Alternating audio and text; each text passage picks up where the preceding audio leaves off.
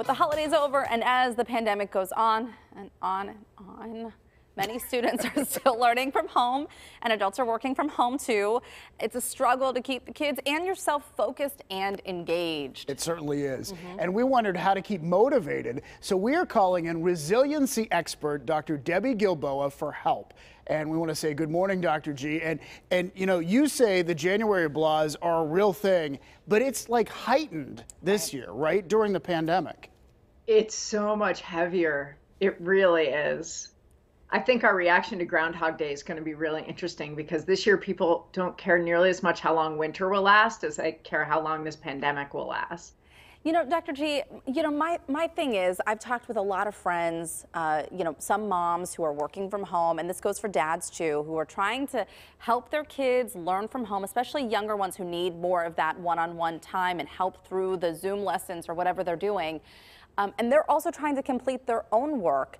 Some are, are nervous about losing their jobs. How do you manage that stress of all of that? So, one of the things that's hardest this year is that our situation changed, but most people didn't change their expectations.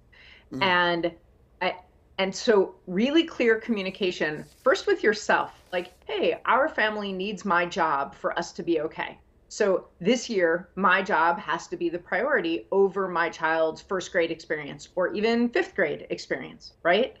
Saying things like okay now that i've clarified that for myself i need to communicate that clearly to my kiddos. Teachers to my family right? To our we got to talk about that as a family what it can mean and what you know what can't happen. And i have to be able to communicate that clearly with my work as well. So if you are and i'm going to say lucky lucky enough to be in a situation where you can be working from home and not losing your job because you can't go to work or having to go into a situation that doesn't feel safe then communicating hey these are you know I, I think i can fit in this many hours but it's going to be disrupted. It's going to be a little choppier. You might see my kiddo on our screen some of the time. That is a totally reasonable approach even 10 months in I've heard from people who are saying that, well, sure, maybe if I'd had that conversation in May, but now it's January, I've been faking it as best I could for this long. I can't say something now, can I? And I would say that one of the advantages of 2021 and the pandemic is that people are appreciating a little more transparency and authenticity. Yeah. You know, I think that's so important to give yourself a break, not hold yourself to such a high standard. Because I think we do that with our inner voices, even when we're not in a pandemic. Yeah. Like we're our own harshest critics sometimes. Uh, you know, one of the things that, that I think is so crucial for all of us is to find an escape and just take a little time for ourselves. But how do you do that in a household with kids and, you know, maybe your spouse is there as well? I mean, that can become very difficult. Okay, so I actually want to give everybody a little bit of homework. I hope that we've all known each other long enough that you'll forgive me for that. But I want everybody who's worried about this, who's thinking about this, to make themselves a list. This is actually going to be three lists, so three columns. The first list is everything you already do when you don't like how you feel, or you want to distract yourself, or cheer yourself up, or manage it. And this list is everything. The good stuff like exercise or listening to music or reading art or you know or, or creating memes. And the neutral stuff like playing a video game or making yourself a snack. And the negative stuff like yelling at your partner or um, walking away from your kids for a minute or drinking alcohol that's in an unhealthy way. So your whole list every coping mechanism you have. And then you scratch off all the ones that are damaging to you or someone else and you copy it over and that middle list is everything that you currently do that's what's called a neutral or a positive coping mechanism.